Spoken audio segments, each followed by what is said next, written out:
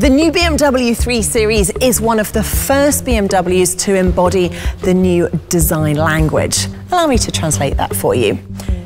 The new model has a sporty, low stance, and the typical double kidney grille has grown considerably compared to its predecessor. It's visually connected to the headlights, which gives the front a wide appearance. From the side, the new 3 Series is agile and yet compact. The reinterpretation of the Hofmeister kink is another important feature of the design language. It's now a fixed part of the C-pillar with a freely suspended glass edge in the door, giving it a more modern, high-tech touch.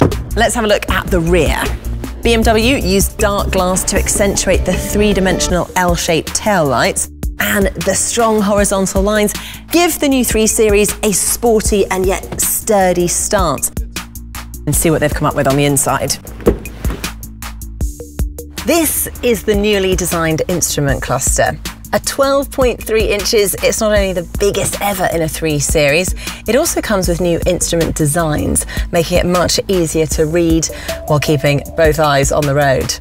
Next to the instrument cluster, you'll find the centre display. Together, they combine to make one large information cluster that can be individually configured by the driver.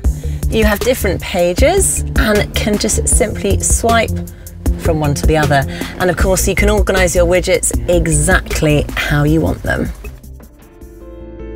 Another easy to use feature has been introduced to the new 3 Series as well gesture control. Ah, sorry, I can't take that call right now. With the ambient light package, you can also give the interior a more individualised look. And last but not least, all new to the 3 Series, the light carpet, which illuminates a safe passage from and to your BMW. Lights, please.